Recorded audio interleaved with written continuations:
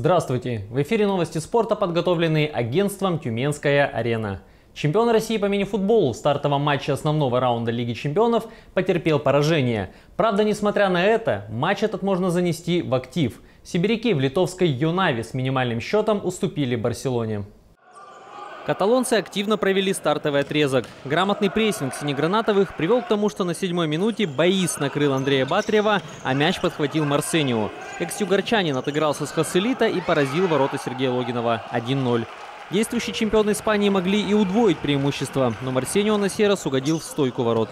Реальную возможность отличиться в составе черно-белых упустил Бруно Тафи. Бразилец здорово сыграл на перехвате, вышел один на один с Хуанхо, но мяч с ленточки вынес Марио Ревильос. Концовка первого тайма прошла в атаках Тюмени, но довести их до акцентированного удара не удалось. Во втором тайме Барселона создала еще несколько моментов, но в этих эпизодах сверхнадежность проявил Логинов. Он не позволил обыграть себя ни Хоселито, ни Марсенио, ни бывшему форварду Тюмени Феррао, против которого персонально действовали Сергей Абрамович и Александр Уполев. Они очень хорошо защита для меня сегодня.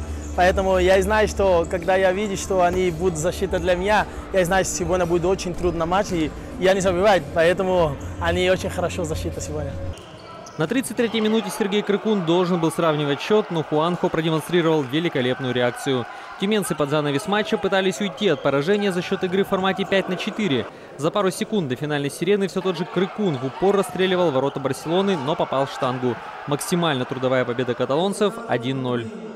Очень интересный матч получился. В начале где-то чуть-чуть была какая-то неуверенность. Первая игра в Лиге Чемпионов. Буквально две смены мы влились в игру и, считаю, ничем не уступили Барселоне в этой встрече. Имели хорошие моменты, могли даже в концовке сравнять счет. Тюменец Муса Магушков выиграл престижный турнир под дзюдо «Большой шлем». За океаном трехкратный призер чемпионата мира выступал в весе до 73 килограммов. Для завоевания золота в столице Бразилии Сибиряку пришлось победить в четырех схватках. Три из них закончились досрочно – иппонами.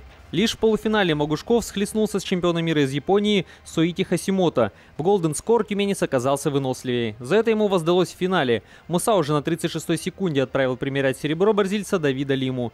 В южноамериканском большом шлеме выступила также тюменка Дарья Давыдова. В весе до 63 килограммов она стала седьмой, добравшись до четвертьфинала и уступив в утешительном раунде.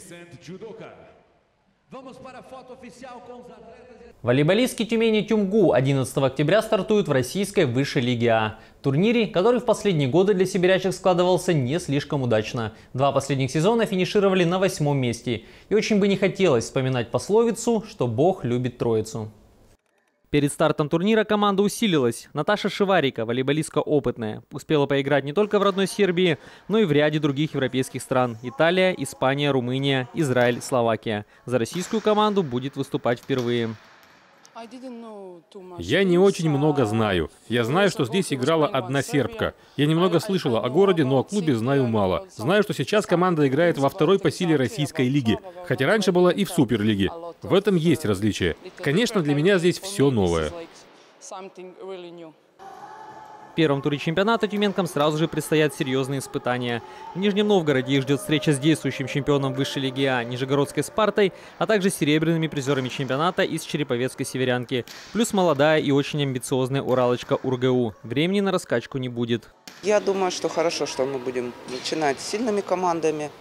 Вот, есть возможность сыграть на их неуверенности, ну, не сыгранности, не то, что неуверенности, но я думаю, что каждая команда в течение чемпионата будет набирать мощь, и силу и сыгранность.